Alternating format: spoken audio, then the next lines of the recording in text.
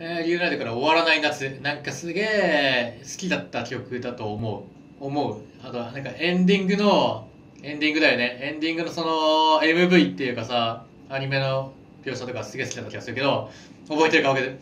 青い空と海を背にして振り向いた白い影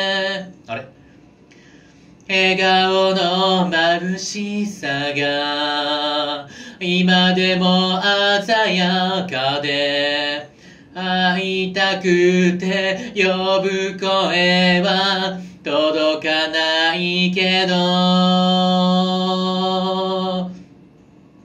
終わらない夏がまだ胸にあるよ。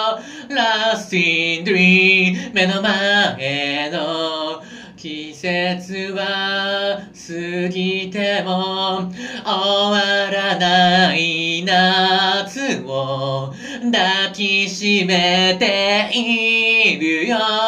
Lost in dream 誰よりもあなたは輝いてた。いやでもすごいなんかリュウナイトの曲一通り覚えてたびっくり。全部10年以上ぶりに歌っていくからねこれ。多分。いやすごい。思い出補正いやこの曲めっちゃ好きだったんよね。うん。心が泣きそうな。夜には夢の中。会いに来て。一人だと迷って明日にさえ行けない。連れて行くその腕を探してるから。終わらない夏がまだ胸にあるよ。Lost in dream 新しい思い出刻んで終わらない夏を抱きしめているよ。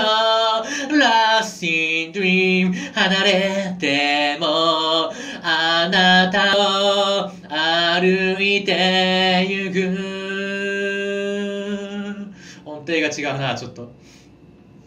いやーすっげえシンプルにするのこの曲。なんかねエンディングのそのさなんか MV っていうかさそれがめっちゃなんかすごいなんかいいんだよね。なんかセピアカラーみたいな感じでさなんかおーってなんかなんだろうね。ノスタルジックな気持ちというかなんか不思議な気持ちになって見てた気がするわ。また見てまた見てっていうかうんそうね。リュウナイトもう一回見直したいしこの曲もちゃんと聴き直したいね。いやーなんかすげえなんだろうしんみりするわ。終わらない夏がまだ胸にあるよ。Lost in dream 目の前の季節は過ぎても終わらない夏を。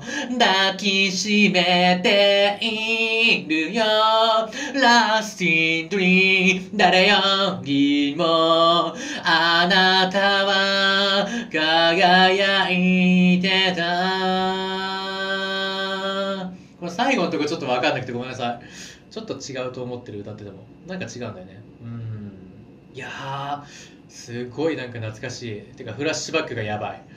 83.840平均81.813一応勝ちましたが音程っていうかキーはどうだったかな。